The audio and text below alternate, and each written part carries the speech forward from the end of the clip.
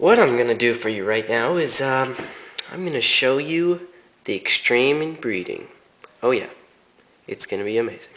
So now I am going to draw all the different kinds of inbreeding between the immediate family. So watch and learn. This is going to be in fast motion, so it should be ready.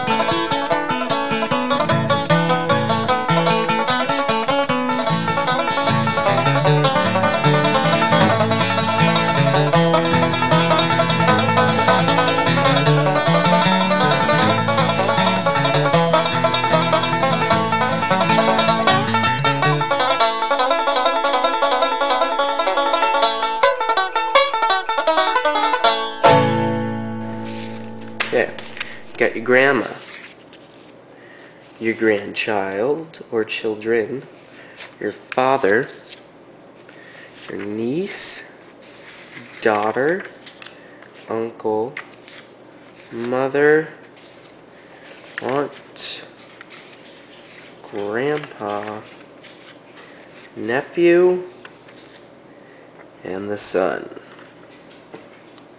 Let's start out with the most weirdest ones, I should say, the most immediate family, primary family. So you got your mother and your son and your daughter and your father. Now, so it would be them two fall in love. I know kind of weird. And then these two. Eek, I know. Now the next ones are rare, but they still happen. So you got your grandpa, your grandma, your grandchild. Now these intertwine and they fall in love, get together, woo! And uh, yeah, so grandchild, which being the male, goes for the grandma, and the grandpa going for the grandchild, granddaughter. Hmm? Hmm. Huh. Ever think of getting together with your uncle or aunt? It could happen. So you have your niece, your nephew, your uncle, and your aunt. Yeah, yeah. So, Niece hooking up with uncle? Yeah. And then Aunt hooking up with nephew. Ooh.